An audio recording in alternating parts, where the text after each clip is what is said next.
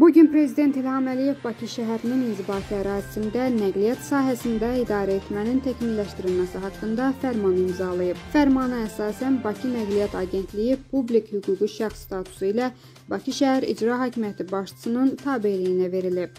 Bakı Nəqliyyat Agentliyini daim tənqid edən millət vəkili Rüfət Quliyev Qaynar Info Aza açıqlamasında fərmanı belə qarşılayıb. Start Sərəncamdan xəbərim yoxdur. Zarafat edirsiniz. O yenə gözəl. Prezidentə qurban olum, onun boyuna qurban olum. Xeyir xəbər olasan. Statın sonu.